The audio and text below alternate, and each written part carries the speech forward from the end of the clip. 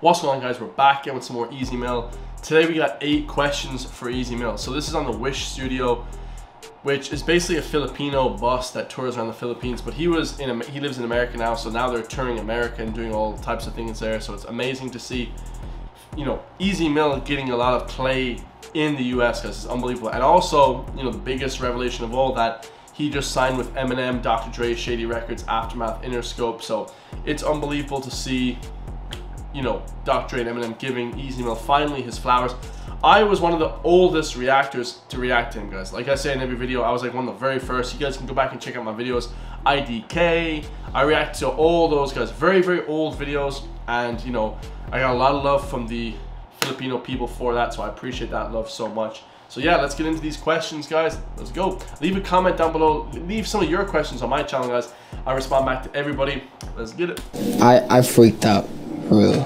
Because like finding out that it was Eminem, you know, and then tapos parang double whammy pa na pagkabalik ko sa cellphone. Seryoso ha? And also, you're gonna, Dr. Dre is gonna be there. That's fire. That's fire, guys. Come on, bro. Dr. Dre. For that, for that one. Dr. If you wanna, Dre. Like, rap for the first.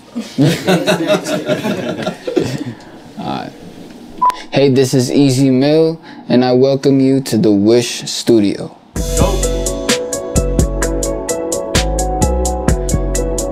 What happened was we had just posted the uh, music video for my song Up Down, and three days after that, Dr. Dre emailed us.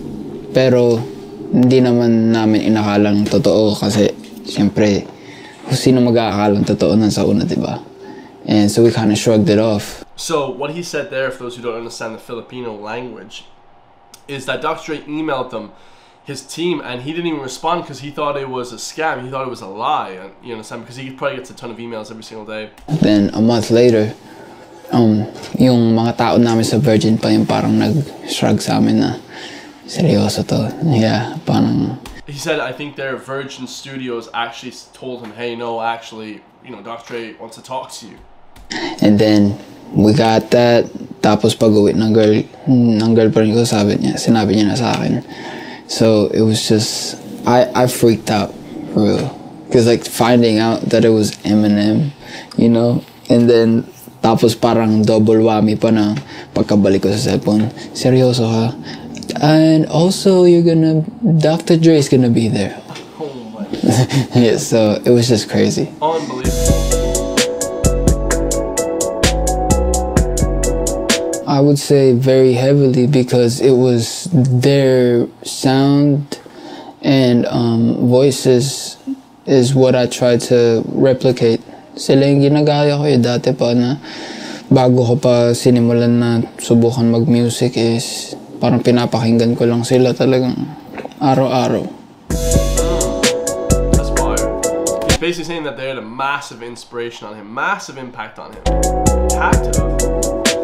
Now it's just also looking for their advice still because they're the moguls and the ones who have been like you know perfectly solidified within this music game especially in rap. So i'm just eager to have more moments to learn from them.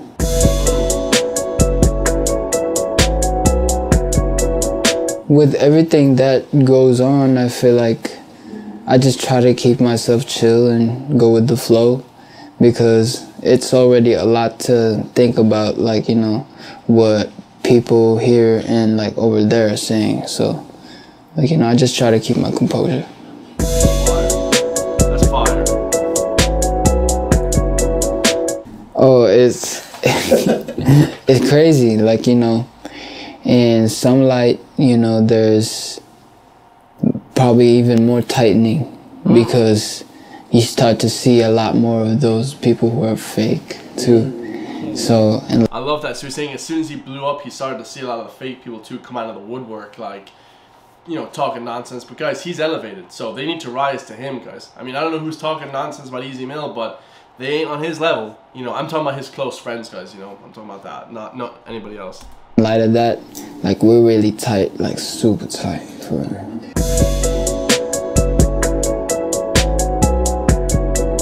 Yeah, yeah, yeah, definitely. I've, I've, I was, of course, still keep keep trying to make more songs like that.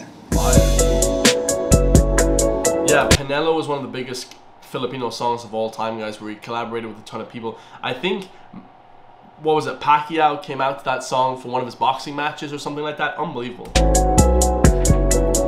Um, so what happened was I was like making beats before even finding out it was them that we were gonna meet, you know. Oh, so one of those beats was the realest beat, and I just came prepared, you know, before even going to the studio. and then there I showed it to them.